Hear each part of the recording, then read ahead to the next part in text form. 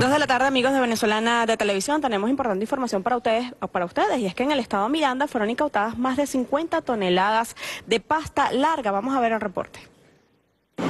La incautación totaliza aproximadamente 60 toneladas de pasta alimenticia en galpones ubicados en el sector El Marqués de Guatire y en la zona industrial de Guarenas.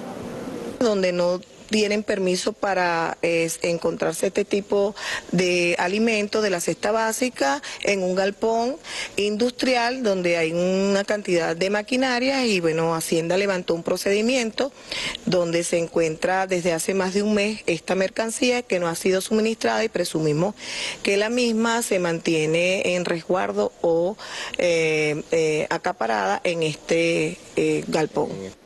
Este hallazgo delata muchos cabos sueltos que llaman la atención de las autoridades. La mercancía entró a los puertos de La Guaira, posteriormente pasa a Caracas, Caracas distribuye a la ciudad de Coro, extrañamente en Coro traslada nuevamente a Caracas, pues, y dónde llega a Zamora que no es el destino final de eso, según la documentación suministrada por la representante de la empresa que está prendida. Y lo distinto es, y lo diferente que llama mucho la atención es que como 24 mil kilos va a ser distribuido a una granja porcina en Coro. Eso es algo absurdo, pues. Informaron que la incautación supera la cantidad indicada en los documentos, pues hablan solo de 24.300 kilos, mientras que el hallazgo es de cerca de 60 toneladas. Ramón Rodríguez Montero, La Noticia.